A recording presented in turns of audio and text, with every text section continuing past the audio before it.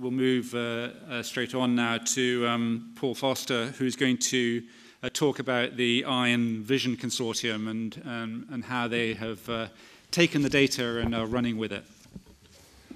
Great. Thanks very much, Rory, for the invitation to speak. And it's uh, a pleasure to give you an idea of the, uh, the and vision research that we're doing with UK Biobank.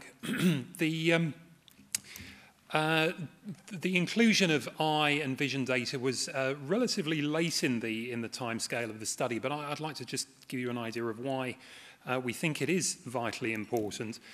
Um, eyes matter in, the, in UK healthcare and globally because the population's aging, and uh, in people at or above the age of 75, unfortunately, one person in 10 is partially sighted, uh, and one person in 50 is blind. Now, uh, the one in 10 partially sighted, uh, it, it may not have catastrophic impact on somebody's day-to-day -day life around their home, but it probably would stop them driving. And I think most of us would agree that would, be, uh, that would have a, a very big uh, negative impact on our lifestyle.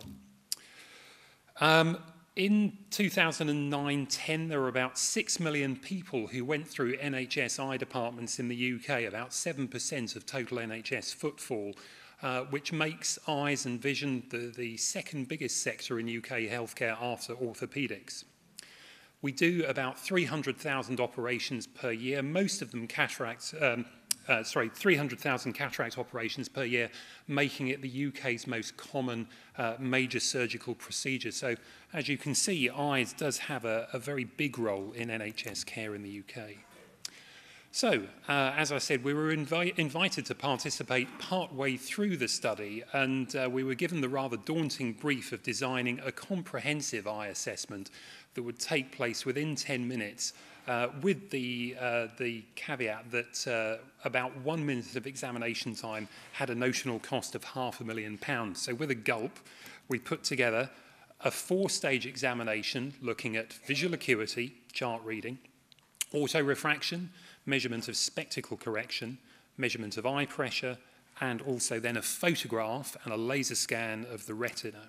So let me just walk you through those four bits of the examination and tell you why they matter. So chart reading, this gives us an idea of somebody's fitness to drive, potentially their suitability for cataract surgery, whether they're likely to be sight impaired on a legal basis, But we also know that measurement of visual acuity is linked to mortality. So the worse somebody's vision, the more likely they are to die. So this is a, a very rough global indicator of somebody's overall health status. We measured uh, the spectacle correction. Now, um, uh, the device that we use also measures the curvature of the cornea, the major refracting or focusing surface of the eye, and that is affected in a variety of different diseases, such as keratoconus, uh, a common corneal disease. Spectacle correction is a big part of the UK healthcare economy. It's a, a turnover of £4 billion a year for, for optometry, um, and about one adult in two will use uh, an, an, op, uh, an optometrist in the course of their lifetime. So uh, it is an important part of the sector. Measurement of eye pressure. Eye pressure is the, uh, the main modifiable risk factor for glaucoma. Glaucoma is the second commonest cause of blindness worldwide and the leading cause of medically and surgically irreversible blindness worldwide. So it's an important thing. Uh, the device that we chose to use will also give us extra data on the, the biomechanical properties of the cornea. Now, the cornea is basically a sandwich of collagen, uh, the main connective tissue within the body. And it does this by measuring with an air puff the force of the air puff to flatten the cornea inwards and then its relaxation, outward flattening pressure. And they're different. And the difference gives us an idea of the stick, stiffness or flexibility of the collagen in the cornea. So we got extra data. In addition to the eye pressure, we got this extra biomechanical data, which we think will help us understand the health of the connective tissues throughout the body. But the, the cherry on the cake, and in fact, the, in this case, the cherry is probably larger than the rest of the cake put together, is the, uh, the photograph of the retina and the laser scan of, of the retina. So these were two different components that were captured at the same time on this machine. Um, now, the device allows us to look at a cross section through the retina, the light sensitive film on the back of the eye. Uh, and within that, we can actually discern different layers of cells within the retina. So, this is a remarkably high resolution uh, tool for looking at the structure of the, the nerve tissue in the eye. Now, to turn that into some, some kind of useful data, we, uh, we knew that it was possible to extract the measurements of the different thicknesses within those layers inside the eye. But that used to be done um, with a, a semi-automated system that could take up to two hours to run on each image.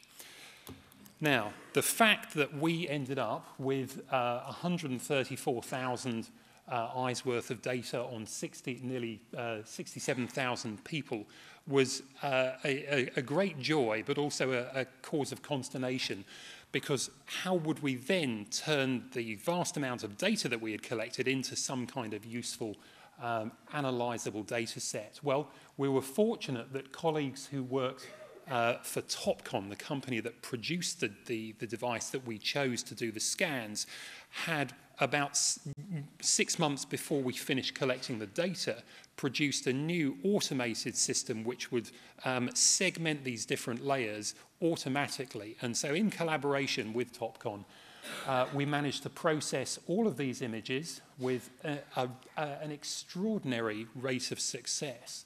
Um, and each uh, uh, image process took just over two minutes instead of two hours to, to complete. So that was uh, extremely fortunate that uh, industry technological development and academic need had coincided.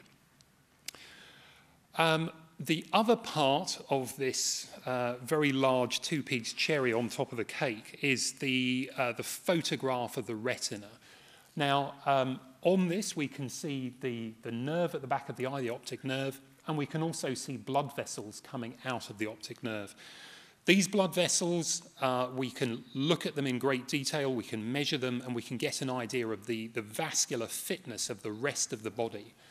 Now, colleagues who work at uh, Kingston University and St. George's University, Sarah Barman, Chris Owen, Alicia Rudnicka, are leading a team uh, where they're using an, an automated system to measure the, the, the thickness of the, the arteries and the veins and their tortuosity. As I said, this gives us a very rich data set that uh, tells us about the vascular fitness of the individual. So, in the end, we got data on nearly 130,000 people uh, and OCT and retinal photographs on uh, uh, nearly 88,000 uh, people. And so this will give us a remarkable resource to study the uh, eye health and visual function in people in UK Biobank. But it's not just the eyes. As you know, the, the saying, the eye is the window to the soul. Well, it's, it's also the window to the brain.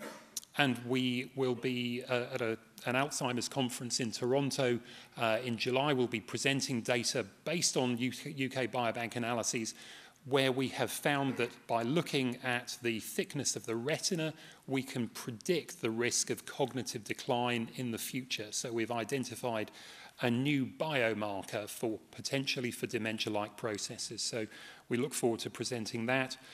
And also, as I've told you, by looking at the, the, the retinal vessels, we can estimate the risk of heart attacks, strokes, etc. So it's not just about the eyes. The eyes uh, are, are a, a very important indicator for the health of the rest of the body.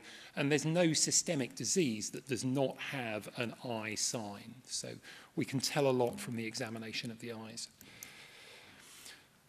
To analyze all of this data, it's been necessary to pool resources, expertise, enthusiasm and energy from all academic eye centres around the UK. So we've formed a, uh, a consortium. I'm part of their consortium, but only, only one member. There's a lot of us, 72 members currently, from 22 academic health sciences uh, groups around the UK. And we do research looking at different diseases. So up here on our website, you can see we've got a group looking at cataract, giant cell arteritis, uh, retinal detachment, and then also cross-cutting and methodological groups who are interested in, uh, in developing the OCT scanning, the laser scanning techniques, the genetics uh, and nutrition uh, data to look at eye and visual health. Um, if you do want to vis visit our uh, website, then you can find all of this information and more uh, at this URL. And there's a, there's a link from the main UK Biobank website into the Eye Consortium website. Uh, here's a snapshot of one of our annual meetings. We tend to meet once a year. This was uh, one of our meetings at the NEC in Birmingham. Uh, and so it's a, a forum for all of the people who work on the iron vision data to meet and discuss results.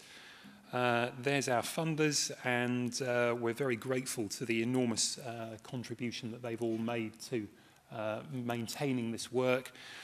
And so in summary, this is one of the world's largest eye and vision data resources. Um, uh, we're fortunate that we've got a, a, a large number of people from around the, the UK contributing to analysing the data and returning the data back for others to use.